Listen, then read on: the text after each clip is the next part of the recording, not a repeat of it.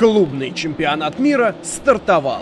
И вновь Бразилия, и вновь Бетим, все тот же душный зал и невероятная поддержка бразильских болельщиков Сада Крузейра. Где-то мы это уже видели, года три назад. Соскучились ли? Вопрос сложный. А вот турнир, как ни крути, престижный. Да нет, на самом деле, в этом нет сложности. Вот. Они не болеют против команды, они болеют за волейбол, за красивый. Вот. Э, когда ты играешь, ты не замечаешь э, ни болельщиков, ничего, просто шумно, единственный момент и все. Так что это даже, наверное, в плюс, это интереснее.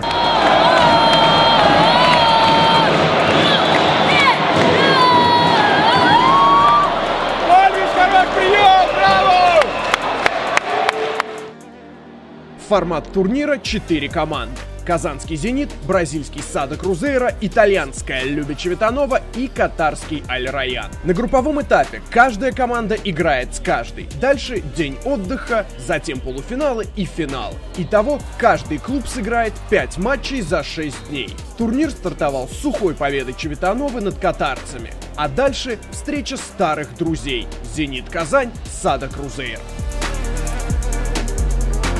Алексей Вербов выпускает привычную для нынешнего сезона стартовую шестерку. Михайлов Нгапет, Соколов Будько, Вольвич Кононов и Валентин Голубев на позиции лидера.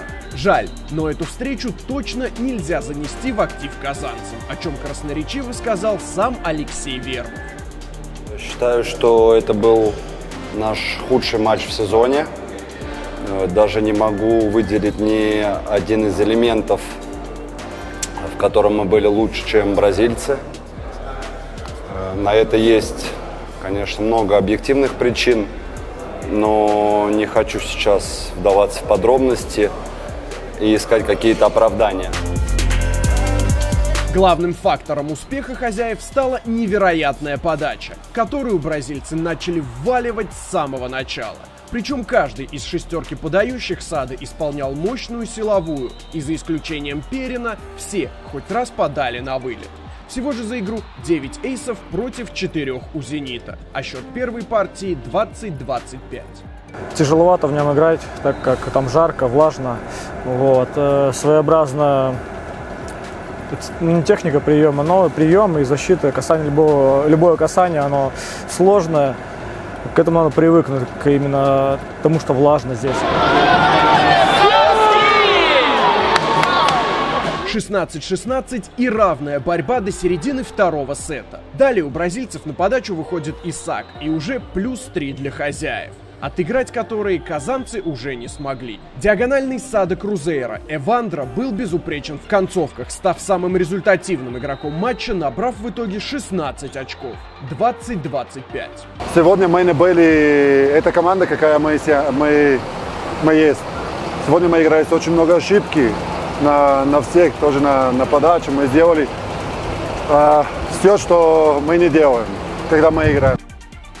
В третьем сете вместо Голубева появляется Кротков, но бразильцы продолжают свой арт-обстрел. Тем не менее, атаки Нгапета, набравшего в итоге 9 очков, и Соколова с Михайловым, в активе которых 12 очков, позволили «Зениту» повести 12-8. Но вновь бразильская подача. 13-13, 18-21 и 22-25.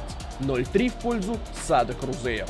Уверен, что с каждым днем мы будем становиться только лучше, э, тем более, что формула турнира это нам позволяет. Еще пару игр, и мы привыкнем к этому залу, и будет, наладим свои так что прием и уберем свои ошибки. Сейчас мы можем очень много говорить, но я думаю, что думе не нужно. Нужно как э, показать все на, на поле.